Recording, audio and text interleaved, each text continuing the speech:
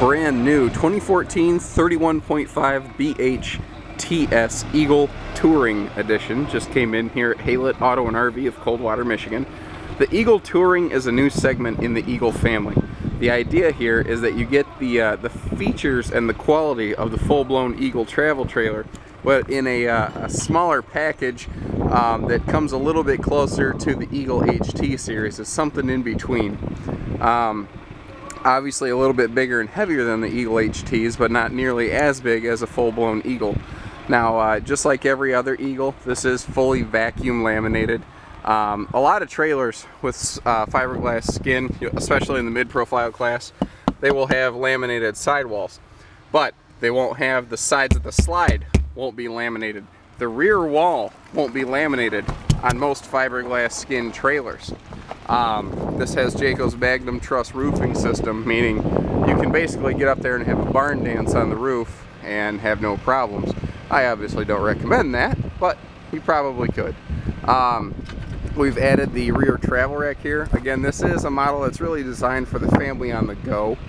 Um, the uh, outdoor kitchen here is really cool and it has a second dedicated awning strictly for the outdoor kitchen. Now, it might seem a little strange that it's a manual awning instead of a power, but that's actually not a bad thing because if you want to, if it's really raining, you can lower this awning almost, uh, you know, completely down flush level with the trailer. So it can just be blustering outside and you can still be grilling and you can be undercover. Plus they have, oops, they have this big giant storage closet out here. It actually goes all the way up to the ceiling of the trailer. You can put anything you wanted in there. Fishing poles, tall things like that, that's a perfect spot for them. Um, a lot of people don't realize, Jayco's don't make a big deal out of it, but almost every one of their travel trailers and fifth wheels is set up for an outdoor TV. These are your plugs, there's your coax, you're all set. Um, this is standard with Jayco's Climate Shield package, uh, meaning enclosed, insulated, heated underbellies. Um, the, uh, the term Four Seasons gets thrown around very willy-nilly in the RV industry, and uh, I don't necessarily know that this is a true Four Seasons coach, but it is as Four Seasons as the other things that, uh, you know, uh, dedicate themselves that way. You notice we also put on the uh, the touchless, or pardon me, the, the keypad entry system here. Uh, what's cool about that is because this is a bunkhouse, you've got a lot of people coming and going. So if you want to uh, lock up the trailer, you can do that, and everyone just needs to know the passcode. They don't have to have individual keys. This is very similar to a 32 BHDS type travel trailer. Um, same concept, a little bit different application. I really like the uh, the big uh, horseshoe lounge here in the dinette, or pardon me, in the slide.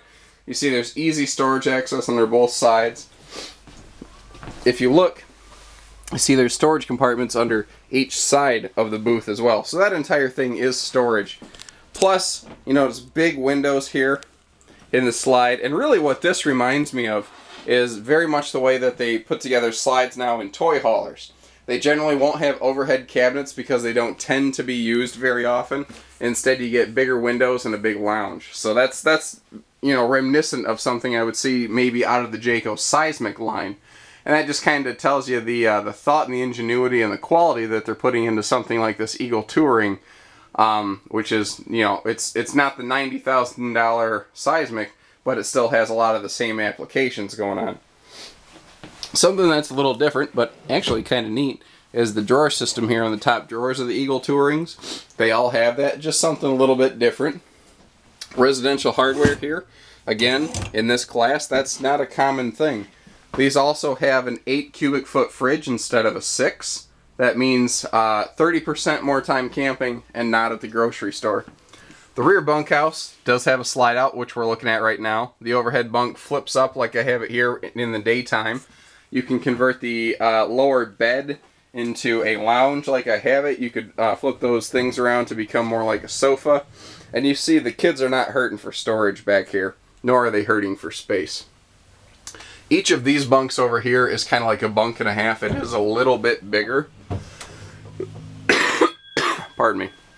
Um, plus, the kids also have this giant wardrobe closet, floor to ceiling, and then a giant, um, just general storage closet. Uh, you know, good for linens, blankets, pillows, extra things like that. Anything, man. You know, I'm looking at this down here. I'm thinking that bottom, that bottom row, that's perfect for a shoe rack because uh, if you've camped with a bunch of kids like I have, you know that the shoes always end up in a big pile by the front door. So if you give the kids a space to put those, it's going to make everyone's lives a little bit better. We always like to upgrade the air conditioner in these uh, to a 15,000 instead of a 13.5. Gives you 50% more cooling power.